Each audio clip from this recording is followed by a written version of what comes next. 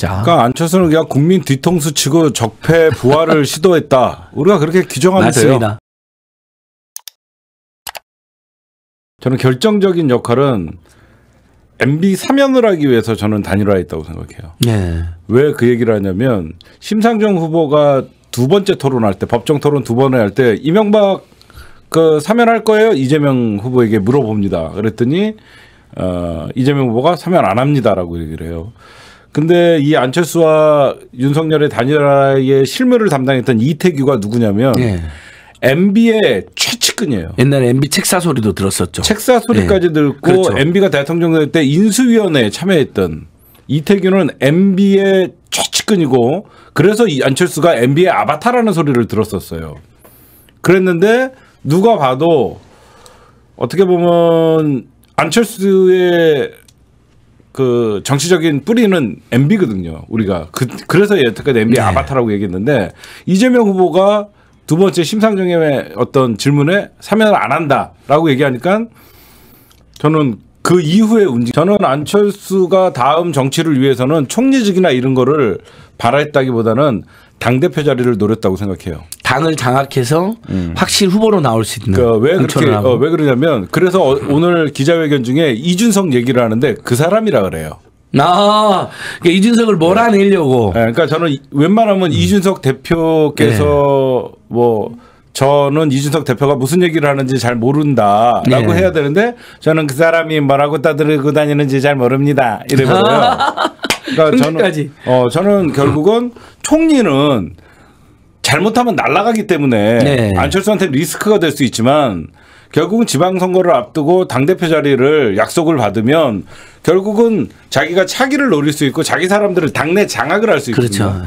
저는 안철수는 어, 정치적 명분보다는 경제력을 택했다라고 생각하는 게 안철수가 만약에 이대로 10% 미만의 선거를 완주를 할 경우에는 안철수의 정치적 미래가 사실상 명분적으로는 있지만 결국 세석 뭐 그렇다고 외부 세력도 없는 안철수가 지방선거를 어떻게 치를 것이고 여태까지 지- 지가 정치를 해봐도 제3당이 우리나라에서 살아남기 쉽지 않거든요. 네. 그래서 결국은 국민의힘이라는 거대 정당에 들어가서 자기의 정치적 세력을 확보하려는 그리고 이면에 어떤 노림수가 있고 어, 결국은 지 돈 쓸 일 없잖아요.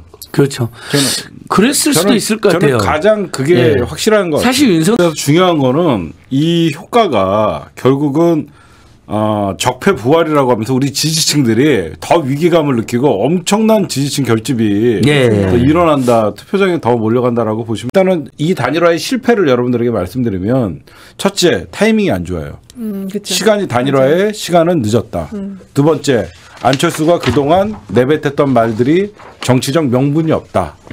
그 굉장히 중요하거든요. 그렇습니다. 뭐 고인이 된 자기 선거운동하다가 죽은 고인 상가집에 맞아요. 가갖고 끝까지 완주하겠다. 그거 다들 사람들이 안철수가 이번에는 결기를 품었구나라고 생각을 했는데 그것도 바꿨고 세 번째 안철수가 이재명 후보와 윤석열, 심상정과 계속 법정 토론에서 정치 개혁을 주장을 했었거든요. 양대 기득권 정당을 주장 어, 타파해야 된다. 계속 떠들었는데 결국은 기득권에 에, 기어 들어가서 다시 적폐 부활을 에, 돕는 이런 거 모든 면에서 안철수의 단일화는 어 그러면서 윤석열이 되면서 1년 안에 손가락 자르겠다.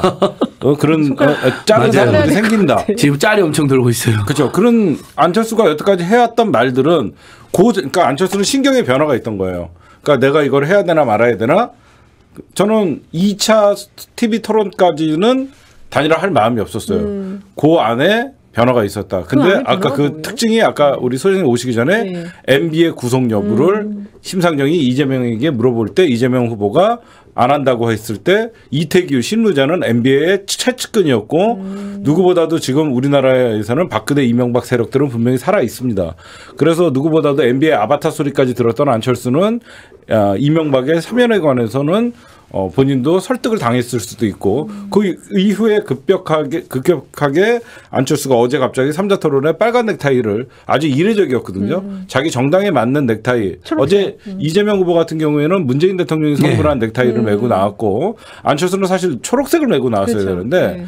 뭔가 이미 냄새가 풍기듯이 빨간 우리는 전부 어 그 단일화 결렬 이후에 3차 토론이 어떻게 전개될지 안철수의 반응을 보고 싶어하는 사람이 많았는데 이상하게 흘러나가는 걸 보면서 완전. 이상하게 흘러나가는 거 보면서 느낌이 안 좋았는데 결과는 새벽에 우리 안진교 소장님이 말씀하신 대로 야합이 이루어졌고 그러니까 명분도 없고 시간도 안 줬고 그래서 결국은 지지층 저, 즉 민주 진영의 지지층들은 어, 굉장한 분노의 투표가 이루어질 테고 여기서 굉장히 중요한 거는 어, 이재명 후보가 당선되면 정치적인 빚을 청산한 거예요. 네. 만약에 계속 안철수가 완주를 하면서 정치 개혁을 한다 그러면서 끝까지 완주를 해서 이재명 후보가 당선되면 안철수라는 계륵이 남아요.